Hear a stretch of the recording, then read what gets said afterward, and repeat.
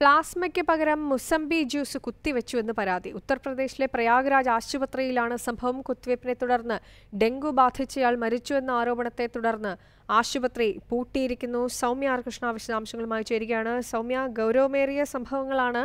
എന്തൊക്കെയാണ് പിന്നിൽ നടന്നതെന്നാണ് മനസ്സിലാവുന്നത്?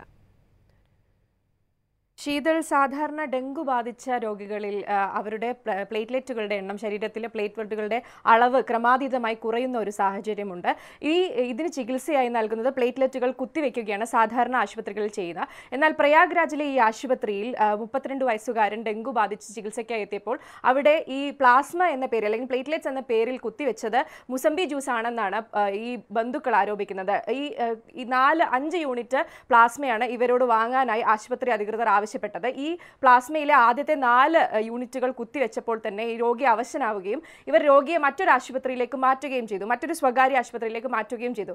രണ്ടാമത്തെ ആശുപത്രിയിൽ എത്തിയപ്പോഴാണ് അവിടെയുള്ള ആശുപത്രി അധികൃതർ അവിടെ വെച്ച് ഈ രോഗി മരണപ്പെടുകയാണ് ഉണ്ടായത്. ആ മരണം സംഭവിച്ചതിന് ശേഷം ആ രണ്ടാമത്തെ ആശുപത്രിയിലെ അധികൃതർക്ക് ഈ അഞ്ചാമത്തെ യൂണിറ്റ് കാണിച്ചു കൊടുത്തപ്പോഴാണ് ഇത് യഥാർത്ഥ പ്ലേറ്റ്ലെറ്റുകളല്ല ഇത് മുസംബി ജ്യൂസോ മറ്റോ ആണ് എന്ന് ആശുപത്രി അധികൃതർ തന്നെ ഒരു സംശയം ഉന്നയിക്കുകയും ഇതിന് ശേഷമാണ് പരാതിയുമായി ബന്ധുക്കൾ രംഗത്ത് വരുന്നത്.